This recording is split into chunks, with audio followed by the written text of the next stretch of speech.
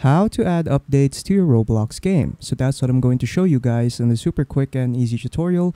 So without further ado, let us begin. So first, what you want to do is to head on to Roblox Studio. So once you're in Roblox Studio, you can access your games right here in the home section. So currently I'm in the home section and then you will see your games right here in the recent experiences. Or what you can also do is go to recents right here and then you will find your game here. So to add updates to your game, it's really quite simple. So what you want to do is to just simply click on your game right here and then just wait for it to open up. And then after that, you'll be redirected here in your game in Roblox Studio and where you can edit out your game. So if you want to add something or an update to your game. Like for example, I'll just add this road tree right there. Let's say I'll just add these things. There you go. Let's say I want to add a water block right here. There you go. And then you can move it around. And there you go. Let's say I want to add these updates to my game right here. So feel free to add any update to your game. Okay, so once you're done adding an update to your game,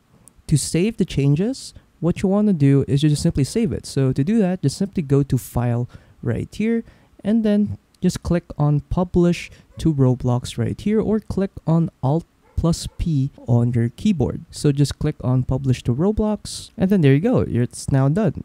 You will know if it's published to Roblox if you will see a no notification right here in the bottom left corner. So I'll just show it to you guys right now. So again, I'll just publish it. There you go. So you, so as you can see over here in the bottom left corner, published new changes in Untitled Game to Roblox. Then after that, you're pretty much done. So yeah, that's pretty much it on how to add updates to your Roblox game.